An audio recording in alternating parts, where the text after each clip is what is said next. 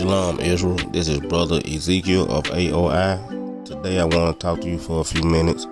Talk to some newcomers into Israel or people that might come into Israel. Uh, some things that you might need to know to help you out when you're first coming into the truth of the Bible. Uh, to help you further understand what the Bible is speaking about So we're going to start it off with Acts chapter 3 and verse 19. And it reads, Repent ye therefore and be converted, that your sins may be blotted out. When times of refreshing shall come from the presence of the Lord. It says, Repent ye therefore and be converted. That word convert means to change from what you what something was and to change into something else. So what you're doing is changing the old you into the new you. Because now you're going to be trying to keep the commandments and not sin. And that is important to keep the commandments and not sin because if you're not keeping the commandments, the Most High won't see you, hear your prayers. And he also said that he does not hear sinners.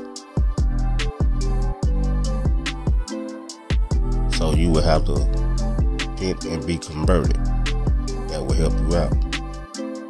And also, in order to get a good understanding of the Bible, you must be keeping the commandments. So that's the first pointer that I want to give you guys. Second thing is, uh, we're going to go to Proverbs chapter 3 and verse 5. Proverbs chapter 3 and verse 5 and it reads, Trust in the Lord with all thy heart, and lean not unto thine own understanding. I'm gonna read it again. Trust in the Lord with all thine heart, and lean not on thine own understanding. And that is talking about uh, when it comes to the Bible, and you hear something in the Bible, and you want to go to talking about what you think or how you feel because you uh, was taught a certain way from certain people, and you come to the truth, and you saying, well, when you hear something you can't understand or you don't believe, and you when you go to saying, well, how I feel and how I think, that's irrelevant. You got to go by thus said the Lord. You know, so that's another thing you have to remember to do. Do your research and don't try to bring what you used to think into uh, as far as learning the Bible as you come into the truth. You have to let that old way of thinking go. So you have to lean not on your own understanding, or lean not on what your pastor taught you that wasn't true, and, and you've been taught it so long it just stained on your brain. Uh, you got to get that stain off your brain read for yourself and not lean on your own understanding. Okay, so I'm gonna get one more. We're gonna go to uh, Isaiah chapter 28 and verse 10. Isaiah chapter 28 and verse 10. Isaiah chapter 28 and verse 10, and it reads, For precept must be upon precept, precept among precept, line upon line, line upon line, here a little and there a little.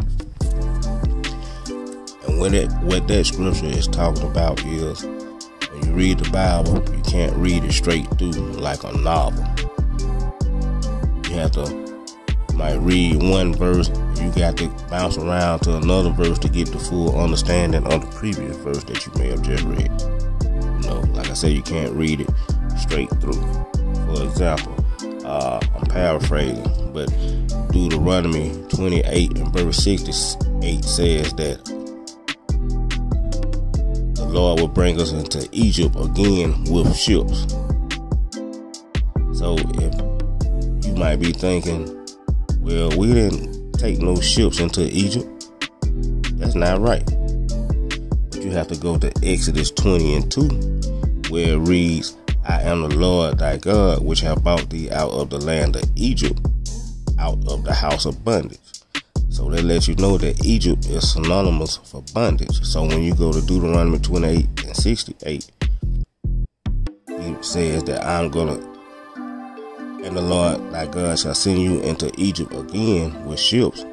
He's saying he's gonna send you to bondage or slavery again with ships. Because the first time we was in bondage, we was in Egypt under Pharaoh. So he said we didn't follow his commandments, that we would go into bondage again with ships. That what Egypt mean when he said I will send you to Egypt again on ships, he's talking about bondage or slavery. So that's why the Lord said you have to go line upon line, precept upon precept, so you won't get confused. I think the Bible makes no sense.